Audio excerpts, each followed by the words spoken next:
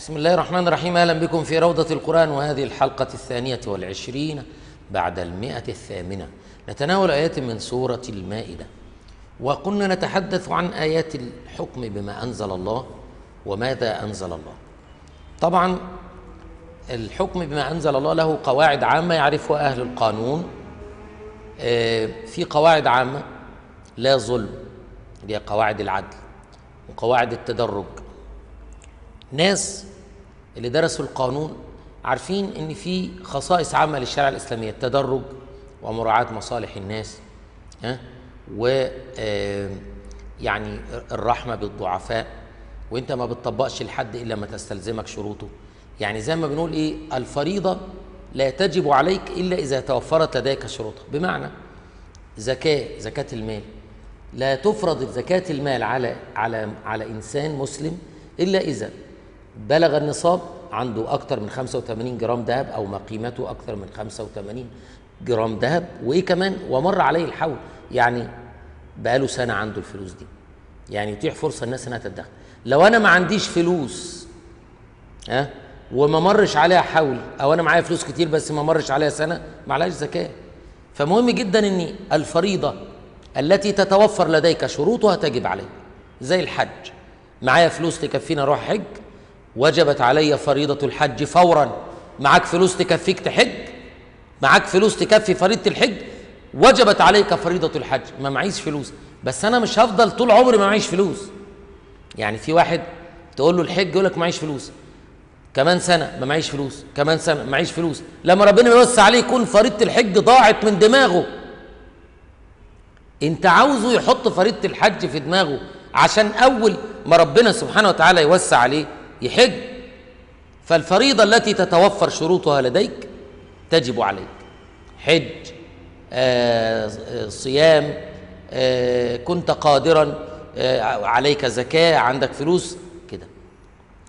لكن في الحكم ما أنزل الله عندنا قواعد عامة تدرج مراعاة مصالح الناس آه، آه، كذا كذا اسمها القواعد العامة للشرع.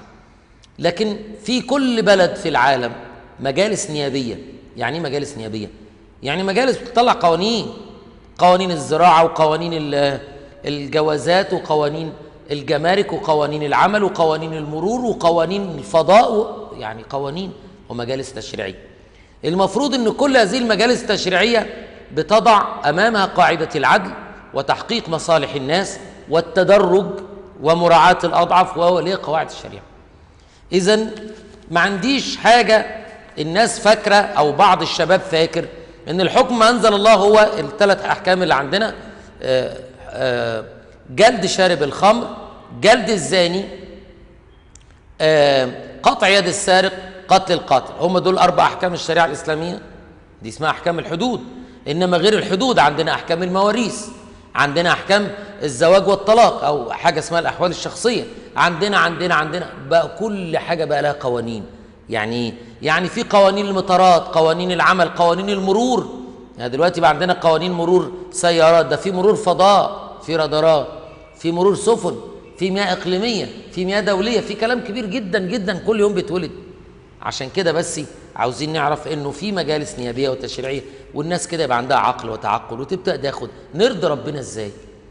عشان كده ربنا بيقول وكيف يحكمونك وعندهم التوراة؟ في الأشياء اللي عندهم زنا وسرقة وشرب خمر وكيف يحكمونك وعندهم التوراة؟ فيها حكم الله ثم يتولون من بعد ذلك وما أولئك بالمؤمنين. لو بتحب ربنا يا أهل التوراة احكم بالتوراة.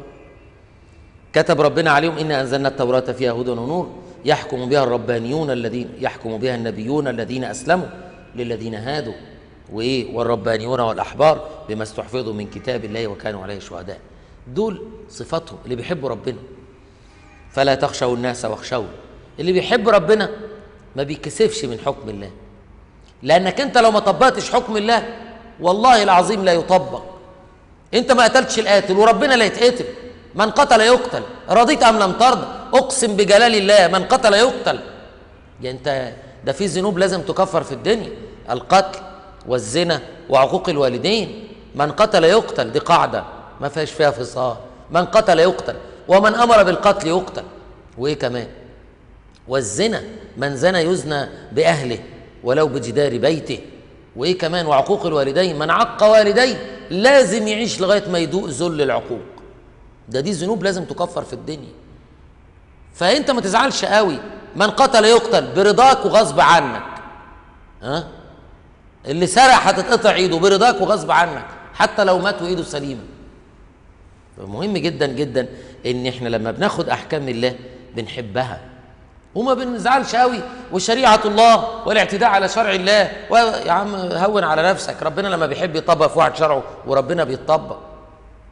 وكتبنا عليهم فيها أن النفس بالنفس والعين بالعين والأنف بالأنف والأذن بالأذن والسن بالسن والجروح قصاص. ده اللي بيحب ربنا. فمن تصدق به فهو كفارة له ومن لم يحكم ما أنزل الله فأولئك هم الظالمون. كتاب أهل التوراة اللي هو كتاب اليهود التوراة هو هو كتاب النصارى. لو بيحبوا ربنا لازم يرجعوا للتوراة وقفينا على آثارهم بعيسى بن مريم مصدقا لما بين يديه من التوراة وآتيناه الإنجيل فيه هدى ونور ومصدقا لما بين يديه من التوراة. شفت بقى؟ لازم. توراة وإنجيل مع بعض. وهدى وموعظة للمتقين وليحكم أهل الإنجيل بما أنزل الله فيه ومن لم يحكم بما أنزل الله فأولئك هم فاسقون طيب وإحنا يا مسلمين وإحنا معانا الكتاب أهو. وأنزلنا إليك الكتاب بالحق مصدقا لما بين يديه من الكتاب. كل اللي جه في كتب اللي قبلنا شرع من قبلنا هو شرع لنا ما لم يرد نص. شرع من قبلنا. وأنزلنا إليك الكتاب بالحق مصدقا لما بين يديه من الكتاب ومهيمنا عليه. لما يبقى أي اتنين بيتحاكموا الشريعة الإسلامية الحاكمة في دولة الإسلام. لكن لما نبقى في دولة غير الإسلام هتحكم عليهم إزاي؟ أي دولة في العالم لها قوانينها. ولا تتبع أهواءهم. فاحكم بينهم بما أنزل الله. ولا تتبع أهواءهم عما جاءك من الحق. وزي ما بقول لكم التنوع سنة الحياة. ولو ربنا عايزنا كلنا شريعه واحدة كان عملها ولو شاء ربك لجعلكم أمة واحدة. ولا تتبع أهواءهم عما جاءك من الحق. لكل جعلنا منكم شرعة ومنهاجا شفت بقى إزاي؟ لكل جعلنا منكم شرعة ومنهاجا ولو شاء الله لجعلكم أمة واحدة. ولكن ليبلوكم فيما آتاكم. فاستبقوا الخيرات إلى الله مرجعكم جميعا فينبئكم بما كنتم فيه تختلفون. وبعدين ربنا سبحانه وتعالى بيقول النبي عليه الصلاة والسلام بيقول لنا وأن احكم بينهم بما أنزل الله. وليه دايما عمال ربنا وأن احكم بما أنزل الله. دايما أحط قاعدة الحكم العدل. ما تعملش قانون يحقق منفعة ناس معينة. زي إيه؟ في مرحلة من المراحل عملنا قوانين تخدم المؤجرين. المؤجر اللي يأجر أرض زراعية أو يأجر بيت أو شقة ما يخرجش منه ولا بالموت. وأصبح المؤجر صاحب مكان. في فترة من الزمان في فترة من الزمان صدرت قوانين تخدم المؤجر. الثورة كانت كلها مع العمال والفلاحين وهو القوانين كلها في صالح المؤجر في صالح اللي بيأجر الأرض في صالح اللي بيأجر الشقق. بعد خمسين سنة لقينا أن القوانين دي كلها ظالمة واللي مأجر حاجة بقى صاحبها وبقى ياخد فيها مئة ألف ومئتين ألف عشان يس... عشان يسيب الشقة ولا يسيب الأرض. أصبح المؤجر صاحب مكان. وجاءت موجة وهوجة من القوانين في صالح المالك. إيه ده؟ كل شيء عمال عمال تتغير وتتلون حسب الأهواء. ما تقيم العدل. فشوف ربنا قال إيه؟ عشان كده ربنا بيقول له إيه؟ وهنحكم بينهم بما أنزل الله ولا تتبع أهواءهم. مش شوية مع الفقراء وشوية مع الأغنياء وشوية مع العمال والفلاحين وشوية ما فيش عمال وفلاحين وش... إيه في إيه؟ وهنحكم بينهم بما أنزل الله ولا تتبع أهواءهم. أقم العدل الشريعه الإسلامية العدل. ولذلك يعني واحد يقول لك إيه؟ حيثما يتحقق أو حيثما تتحقق مصلحة الناس فسمى شرع الله. واحد تاني يرد عليه لا حيثما شرع الله يتحقق العدل. أما تلاقي كلام ربنا يبقى فيه عدل. لكن مصلحة الناس افرض إن في ناس اتفقوا على قانون للزنا افرض إن في ناس اتفقوا على قانون. الشذوذ الجنسي يبقى دي شريعة الله؟ افرض إن في ناس اتفقوا على الرشوة اتفقوا على تزوير الانتخابات يبقى ده شرع الله؟ يعني حيثما يتحقق مع مصلحة الناس تحقق شرع الله؟ اتفقنا على التزوير يبقى ده شرع الله؟ وأن احكم بينهم بما أنزل الله ولا تتبع أهواءهم واحذرهم أن يفتنوك عن بعض ما أنزل الله إليك. فإن تولوا فاعلم أنما يريد الله أن يصيبهم بعض ذنوبهم وإن كثيرا من الناس لفاسقون. بعدين ربنا بيحكم بآية جميلة جدا. أفحكم الجاهلية يبغون؟ عايز حكم الشياطين؟ عاوز الظلم؟ أفحكم الجاهلية يبغون؟ ما هو الجاهلية كانوا بيحكموا بالهوى. أفحكم الجاهلية يبغون؟ ومن أحسن من الله حكما لقوم يوقنون. إن شاء الله نلتقي في حلقة قادمة. شكرا لكم. والسلام عليكم ورحمة الله وبركاته. الله